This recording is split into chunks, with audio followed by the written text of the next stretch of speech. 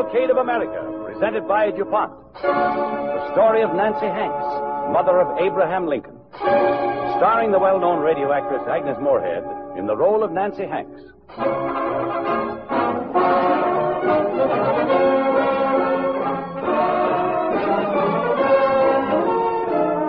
The DuPont Company, makers of better things for better living through chemistry, present the Cavalcade of America, dedicated to those men and women in every walk of life who have shaped the destiny of America in the past, and to the youth of today who will shape the destiny of America in the world of tomorrow.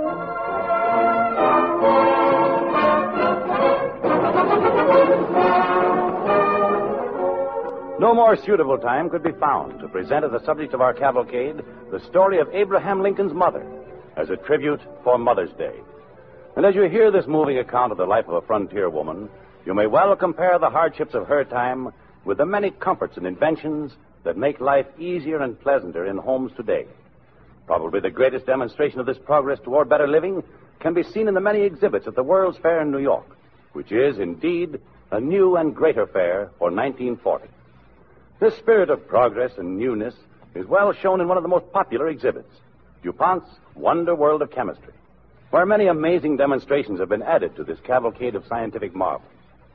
Visitors will watch with amazement the chemical girl of 1940 appeared in an apparently empty piece of chemical apparatus.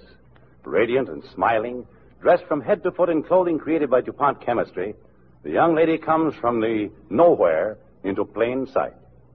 Another new feature of the DuPont show is called the growth of crystals, a strange and lovely spectacle in which the weird happenings seen under the chemist's microscope are magnified to giant size.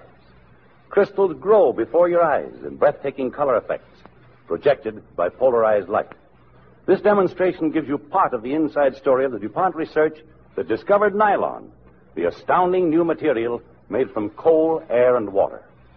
And in another part of DuPont's exhibit, you'll see stockings being knitted of nylon yarn, just as they are being made right now in hosiery mills for offering this month throughout the nation.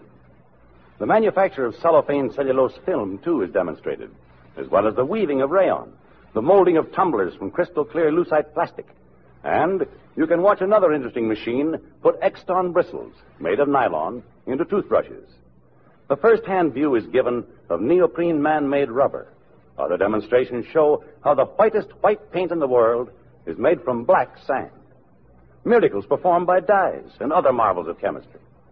And so DuPont invites you to visit the wonder world of chemistry at the 1940 Fair in New York.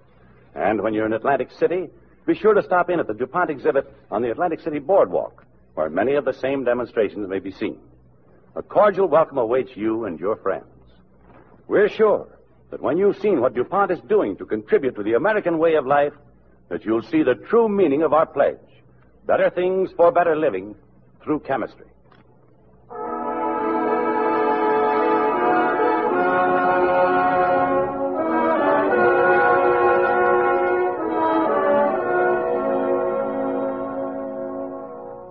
The story of Nancy Hanks in the Cavalcade of America.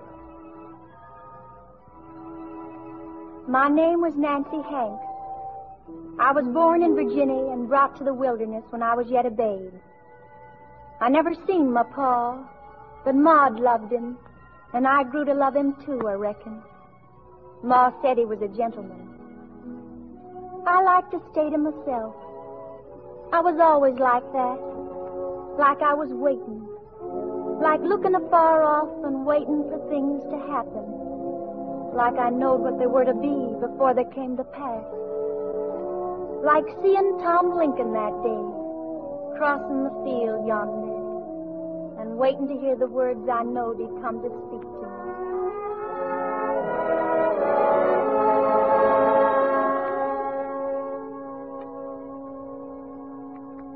minded to marry you, Nancy. I'm come to get your answer. I know that was your thought, Tom. I bought a piece of land over at Elizabethtown. Elizabethtown? You see the hills from there. I aim to build a cabin there first, Nancy. Oh, Tom, I'm proud to be spoke for by such a man as you. There ain't much I can offer you. Just a home and my love, Nancy. Tom, I can't say the words I want to say. Is it that you love another, Nancy? No, Tom, I love you well. It's just. It's just. What's the matter, Nancy? I can't rightly say it, Tom. It's like the purple light yonder in the hills. But when you get to the hills, it ain't there anymore. It's always yonder. You're a girl, Nancy, and girls get to thinking like that. But so much of me is like that. You'll be happy, Nancy, I promise. No, Tom, it wouldn't be fair to you. Nancy, you're a strange woman. I don't rightly know what you're saying. But I believe God meant you and me to marry together. I'm coming back again tomorrow, and I aim to make you my wife.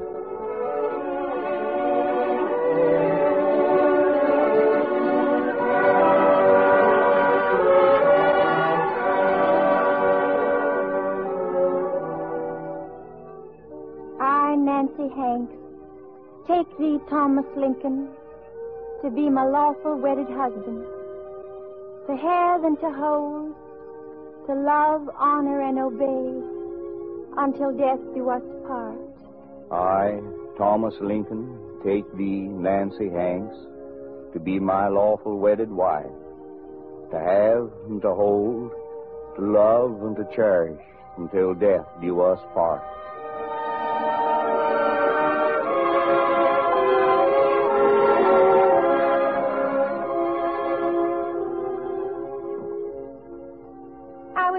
That day to be Tom's wife. And after the preacher finished the reading, come the wedding feast. What we used to call the infare in Kentucky. The men had shot bear and venison and wild turkey and ducks. And the women folk had worked for many days to prepare it all. And there they all were with the music and dancing.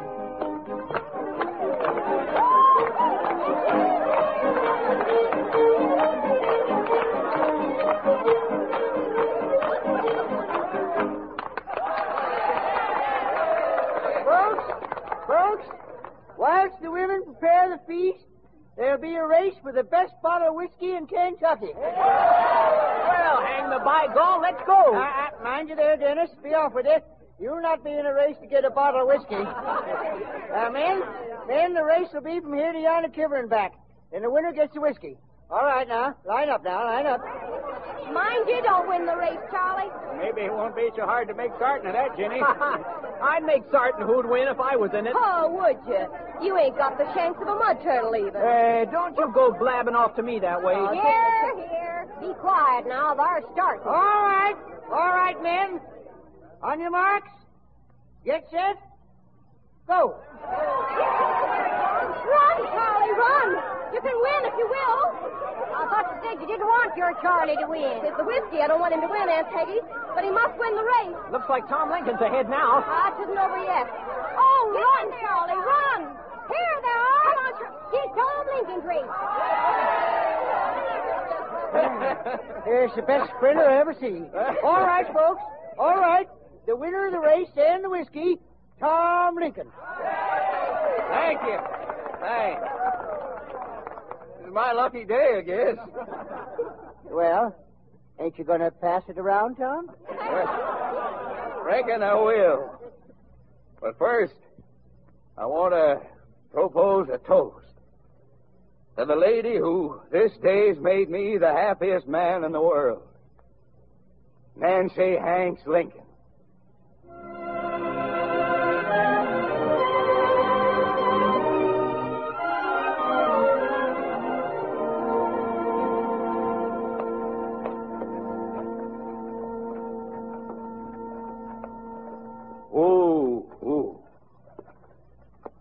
Nancy, it's done at last. Ain't much, but it's our home. It's our home. The prettiest place in the world, Tom. Oh, it ain't that. I know it ain't. I hankered to do much better for you, but I will, Nancy. I will, too. I'll be happy here. I want you to be. I hope you'll be, Nancy. Oh, Tom, you're so good. We'll both be happy in this place. I know that. While the weather's fine, I'll you boards for the floor and a smooth pine table. Would you like that, Nancy? Nancy, you ain't even looking at the house. Over yonder, Tom. White blossoms. Crabapple. Wild crabapple. Oh, yes. Right pretty, ain't he? Not as pretty as you are, though. And the hills yonder, like I knowed it would be. Yeah, sure. Well, come on, Nancy. Look at that cabin. You see that there stick clay chimney? You think you can be happy in such a place? So happy, Tom. So happy it fair hurts me to think on it.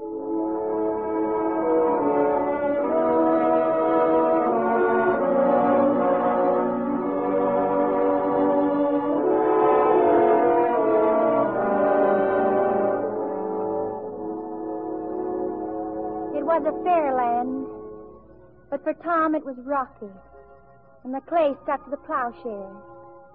For me, it was scrubbing, washing, patching, and fixing.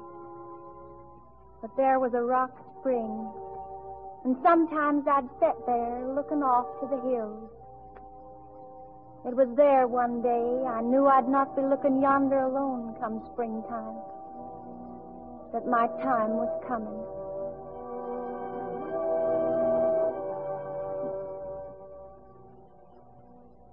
Nancy, you've been yonder to Rock Spring again. Yes, Tom. I asked you not to go there alone, Nancy. It ain't safe in that timber. You recollect what happened to Tim Beardsley? I won't die. Not like that, Tom.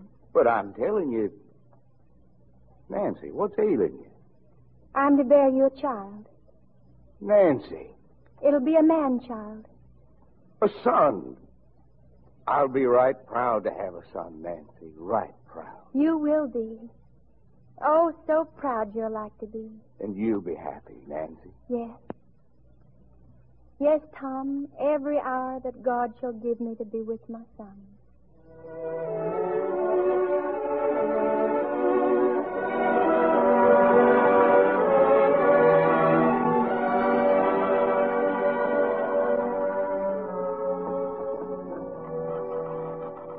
Hi, hi, neighbor. Good morning, Tom. Wait. Where you be off to? Oh, down to the creek to drop a fish line or two. Will you go by the granny woman? Aunt Peggy Waters? Oh, she's to the side of the slope. Sure, but fetch her, will you, neighbor? Oh, can't, Tom. Those fish don't bite eh? You gotta fetch the granny woman for me, neighbor. I can't leave. Nancy needs help starting now. Oh, oh, sure, sure. I'll fetch her. Sure, Tom. Right away.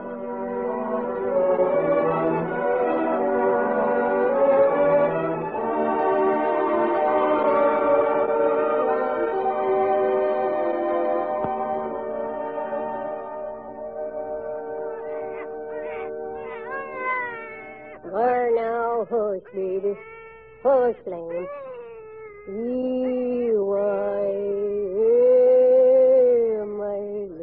That's the lamb. We're going to your mama now. There. My, what a pretty picture. I think he favors his paw, Mike. Don't you, Dennis? He don't look like nothing, Miss Lincoln. Babies never do. Dennis, what do you say? Who does he favor? Well, I, uh, I don't, I, I don't rightly know, Nancy. Would you look at that chin of yourn, Miss Lincoln? A blushing to the hair roots. Did you never see a wee baby before, Dennis? well, yes, but not like that. I, I mean, well, ain't he ailing a mite? Of course he ain't ailing, Dennis. Why do you say that? He'd be so red of face and, and wrinkled like a monkey he is. All new babies look like that, Dennis. Oh, I, uh, could I hold him a mite? Be careful, Dennis. For you are the first boy he's ever seen. Oh, there now. Up you go. Oh, well, I'm thinking he don't take to me. You ain't holding him right, Dennis. Here. Now, like like to this. You see? Oh, oh, like like like this. That's it. Uh, what will you name him, Nancy? I'm going to name him Abraham. Abraham? Yes, for his grandfather. Abraham Lincoln. It's a right sounding name.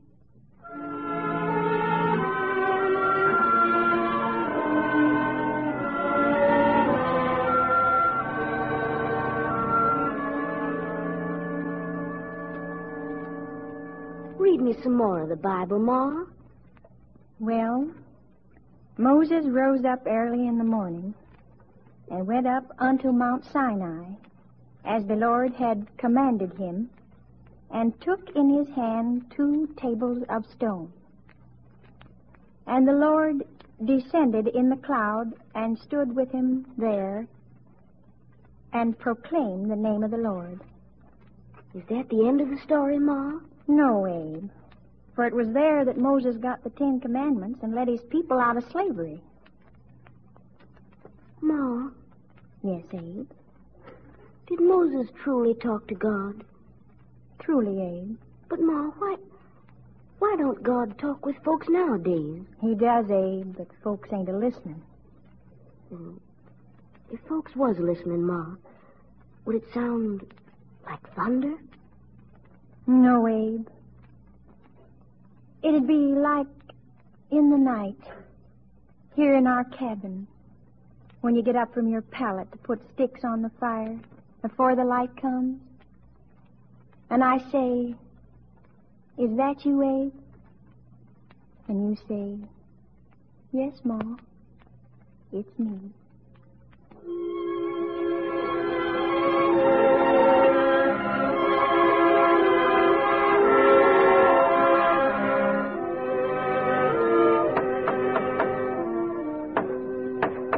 Pa, Yes, son? What are you building? A raft. A raft. What for, Pa? Well, don't tell your ma yet. But we're fixing to move on up the river to Indiana. Tom. Tom Lincoln, stop that pounding. Your wife's asleeping. Her and the new baby. All right, Aunt Peggy. How is Nancy? Well, she's well enough. Now, get on about your business, Tom. I've got my work to do. And don't be coming into the house. Well, I reckon that leaves nothing for us to do but talk, eh? Why are we going to Indiana, Pa? Because of the new settlers. They're coming up from the south, thousands of them. Some with slaves, too. The independent farmer ain't got a chance. What does independent mean, Pa? Well, I reckon it means being poor, having nothing at all. Slaves ain't independent, but they don't need to worry where the next meal's are coming from. What's the matter, Abe? You look as solemn as a papoose. I was a thinking. Ma told me of another big word. Predestination. Whew, that's a whopper. What's that mean, Abe? Well, it it means that what's a going to happen, they're going to happen anyways, and folks can't do nothing to stop it. Maybe it's like that about us going to Indiana. And the new baby and everything. Yeah, your ma believes on that, but not me. Why, I remember one time. Tom. Tom, Yeah, Aunt Peggy. you'd better come on in. Right away. I'm coming. Why, what's wrong? What are you about to say? Uh, the new baby. Tain't a breathing no more. Don't tell Nancy yet. Let her sleep. I'll tell her in the morning.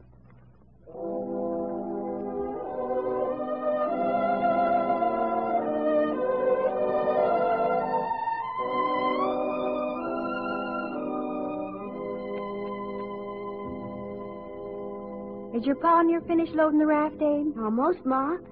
Right soon we'll be riding her to Indiana. You'll like that, won't you? You will too, Ma. Riding like Pharaoh's daughter on the Nile. Oh, Abe. My little Abe, my little shirt-tail boy. Ma, you want to go to Indiana, don't you? Of course, Abe. It's just leaving the hills that's made me grieve. Abe, I want you to promise me something. Yes, Ma. When we get to Indiana, you must go to the teaching woman again. I know, Ma. Don't let nothing ever stop your learning. I won't. It'll be powerful hard, Abe. And there'll be some folks that won't understand. Why won't folks understand? Cause some folks is content, Abe. They want things to be like they always was. But you ain't to be that way, Abe. I promise you, Ma. I'll mind my learning. Abe. Oh, I can't say the words, and you're such a little tyke. But I've a feeling, Abe, like you were going to have burdens when you get out yonder. And I want you strong to carry them. I'll remember, Ma. I promise you.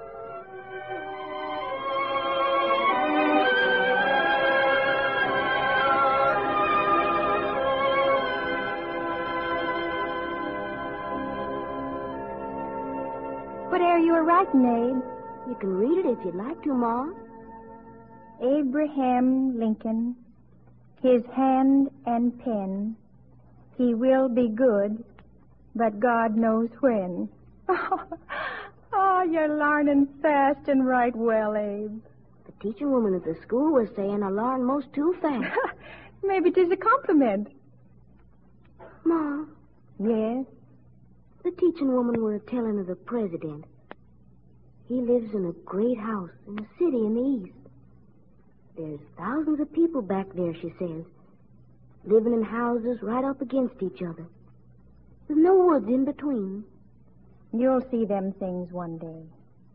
I ain't never to see them things, Ma. Why don't you want to see them, Abe? Oh, I, I don't rightly know. I reckon I'm scared of all them people together. Like they were in the courthouse square when the speechmaker come in Kentucky. Him talking them big words and wearing queer store-bought clothes and them all yelling their heads off. I was scared. I felt kind of sick like. You'll feel different when you're growed up, Abe.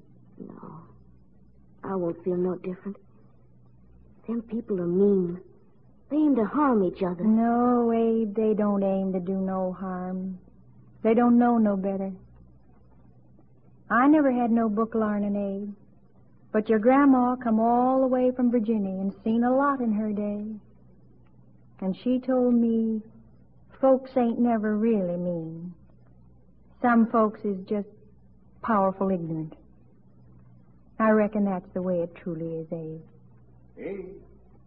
Hey. Yes, Pa? Go fetch me a pail of water. I aim to wash up and rest tomorrow. I'll fetch it right off, Paul. Cabin must be nigh finished, Tom. We'll move in tomorrow, Nancy. Hope you like it. I'll like it. There's some logs left over. Logs, Anything you'd like me to make you with them? save them, Tom, and keep them dry.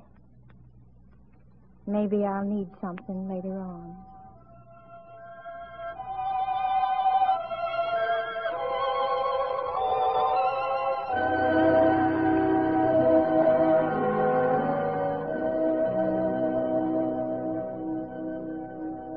Happy in the new house, singing while I done my chores.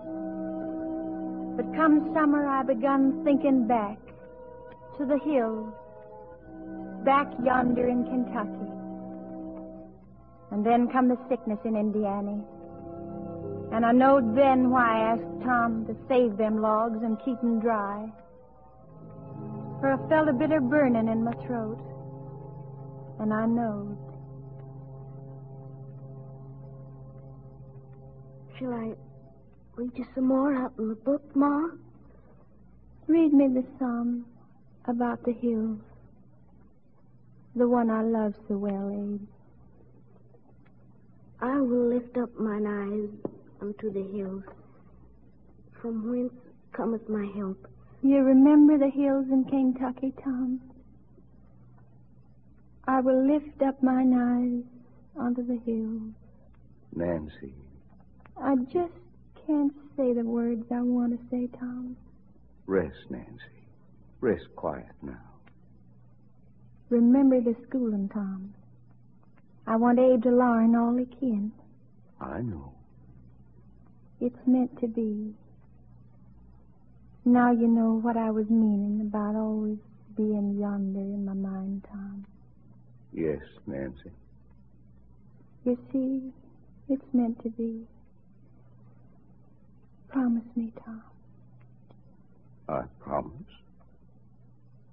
Abe, Yes, Ma? grow up, Abe. Be good to your pa. And be good to your people. And remember me when you're out yonder.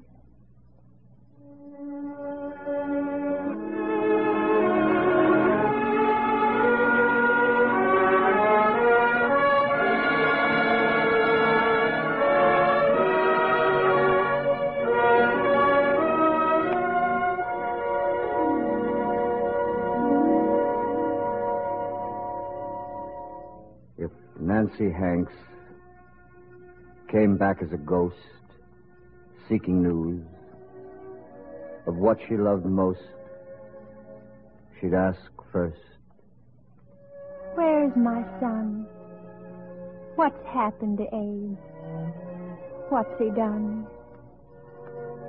Poor little Abe, left all alone, except for Tom, who's a rolling stone. He was only nine the year I died. I remember still how hard he cried, scraping along in a little shack with hardly a shirt to cover his back, and the prairie wind a blowing down, or pinching time if he went to town. You wouldn't know about my son. Did he grow tall? Did he have fun? Did he learn to read? Did he get to town? Do you know his name? Did he get on?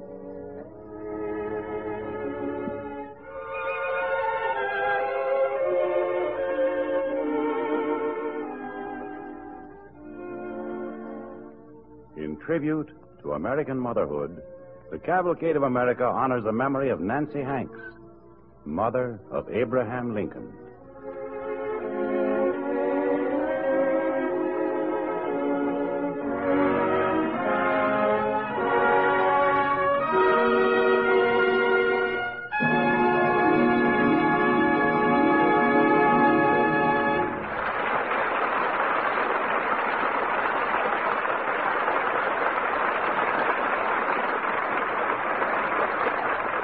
Thank you, Agnes Moorehead.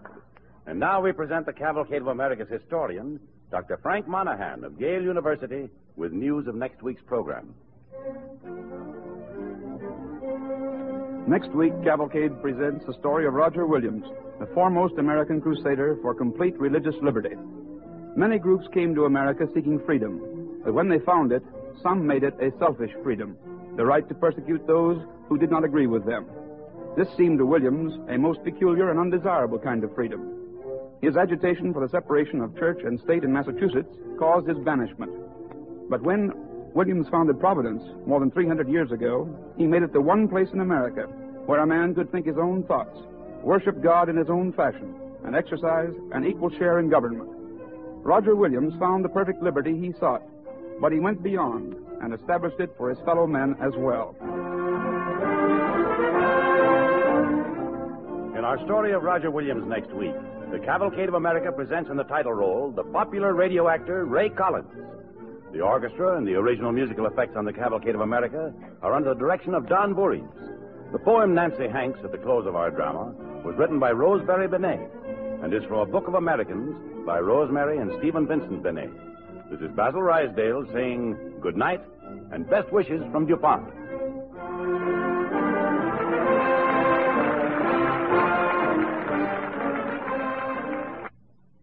This is the National Broadcasting Company.